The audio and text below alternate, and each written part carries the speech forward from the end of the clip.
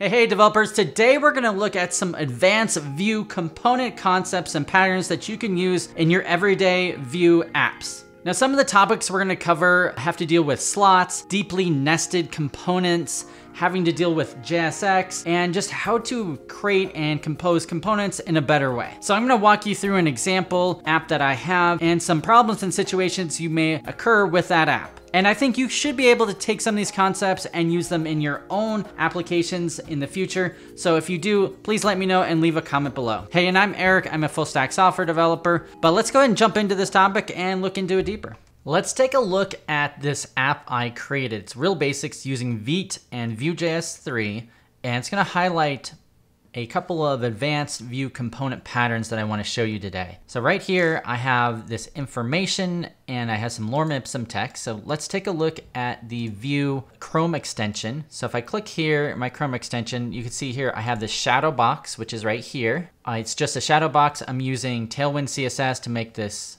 dark shadow around it. And then I have this info component, which kind of covers both this information circle and this shadow box. So it's shadow box is nested underneath info. And then at the top level, we have the app, which obviously has everything underneath it. So I just kind of want to illustrate how this app is put together. Now, the problem I want to try to solve here is this shadow box. I have a bunch of text here, but I want to change it.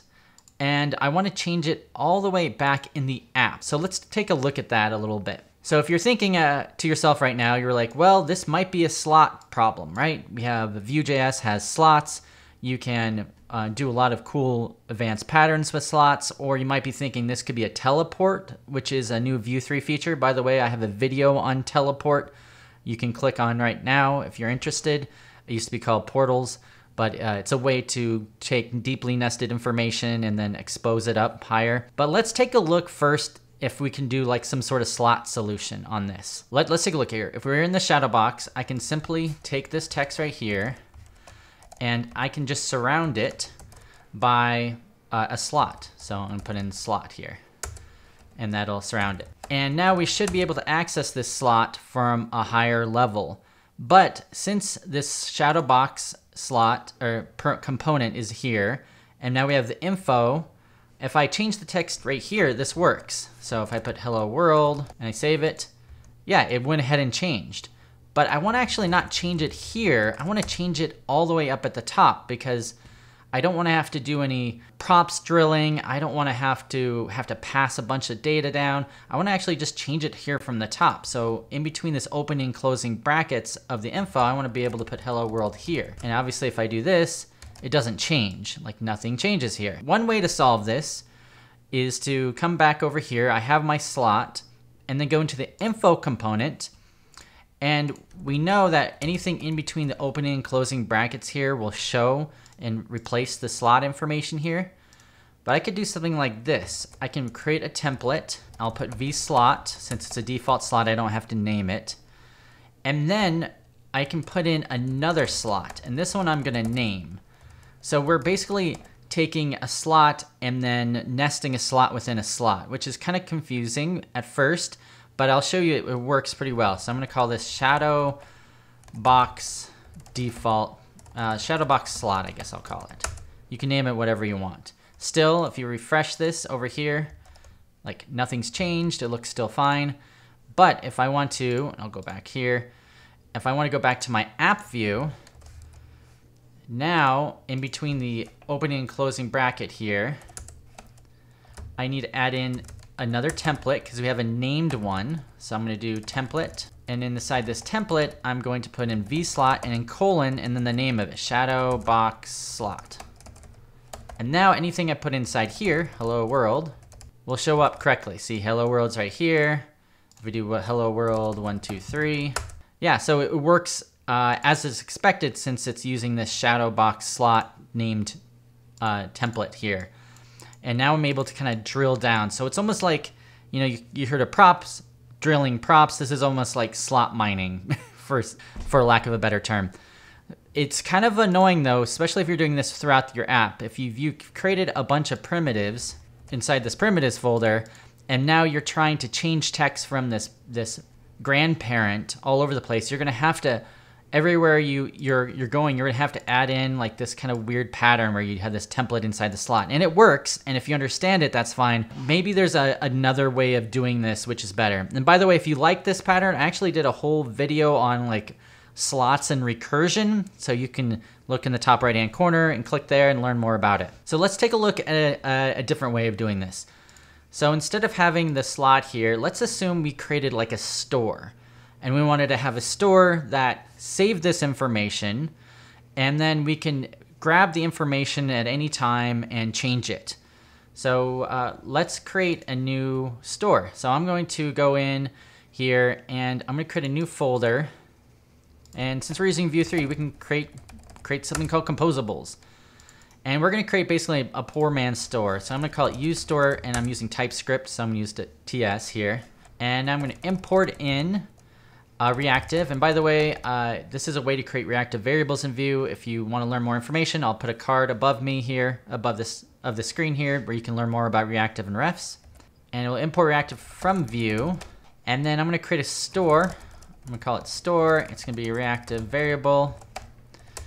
And I really want to create a function here that people can just import into their files. So I'm going to call it useStore, and it's going to return the store. So this is just a really super simple composable. It's a poor man's store. I'm not even using getters or setters. I'm just creating just a reactive object that I can pass around. Okay, now I need to go into my, well, let's say, let's go into the shadow box, and we're going to go ahead and use this new uh, store that we created. So I'm going to import in use store from, and I just gotta go to, from the composables, use store. And now I should be able to, to get the store out of it. So I'm gonna go const store equals use store. And now I can just store whatever I want in it. So I'm gonna store all this text.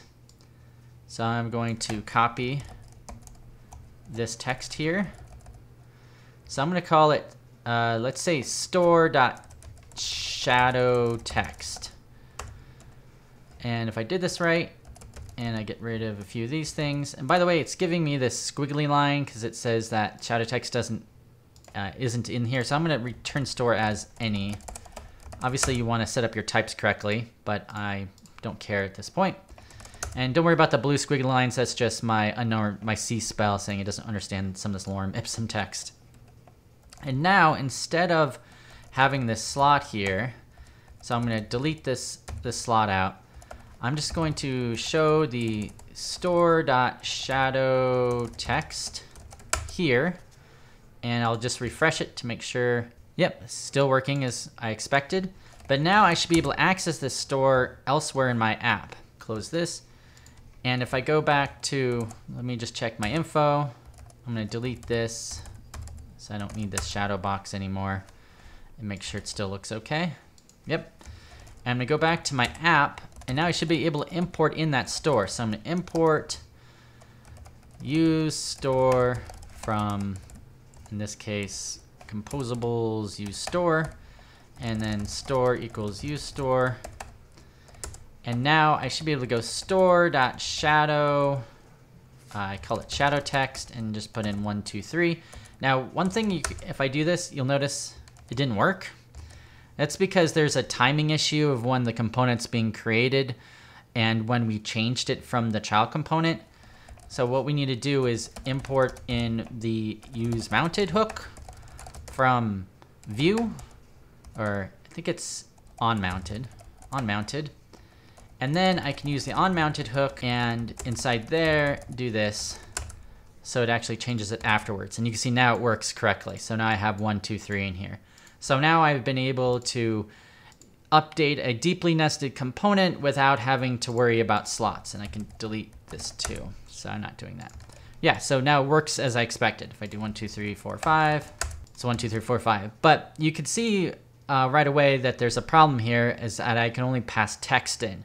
But what happens if I wanted to put my own component in or I wanted to put in some HTML and some more information inside here? If I just type in, I don't know, div test one, two, three, div, and save it. It just comes out as text. We could try to do some stuff as like inner HTML or something like that, but I, I feel like that's a bad pattern. It's dangerous. What a, could be a, a better way of doing this is to use um, a pattern with render functions. So I'm going to create a new component called render info. So I'm going to create a new file. It's going to be render info.vue. And it's to have a script. And then inside here, I'm going to kind of put together this, this render info, which will display uh, some information for us. By the way, I've done a video on render functions before. If you're interested, I actually did a talk on it. So yeah, just click and look at the card at the top and you can click on it and learn more. But basically it's a way to send information to a Vue component without having to, it's basically a way to, to render information on the screen without using a template. And what I'm gonna do here is I'm gonna import in this define component and I'm to export default define component. Now you might be able to do this with script setup. So actually I'll delete that. But right now I'm going to try to, I'm to show you basically how most people do it with define component. Uh, I'm going to have a props and I'm just going to set up one prop called info.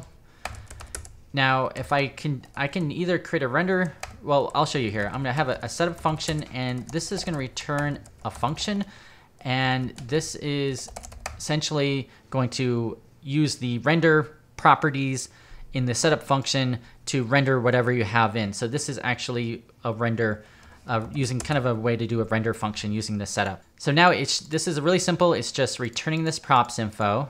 Now I can go back into, and by the way, if this is confusing, make sure you pause it, kind of look over the code.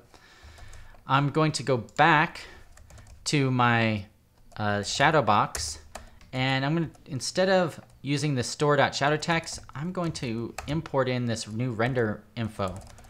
So I'm going to import, we're going to call it render info from, I'm just going to get the path right, components, render info. And now I should be able to use it here. So I'm to do render info, and I need to pass in this info object. So I'm gonna do info here, and I just need to do store dot shadow text. Oops, I forgot my closing parentheses. It still shows the div one, two, three here, but now if I go back into my app view, if I use this new uh, H function, which is like a create element, I can sort of do, I can do this H div one, two, three, and cool, so now I've actually passed in a div into here instead of having to, uh, instead of having only text.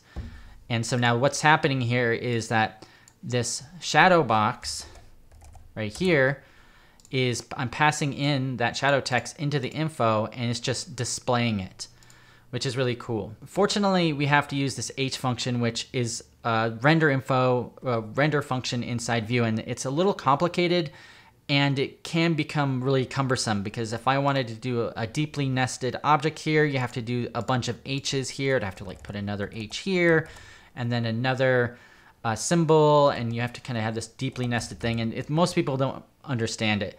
So if this was a big concern, I'd say at this point, uh, JSX is the way to go. I kind of hinted at that earlier. So I'll show you how that works.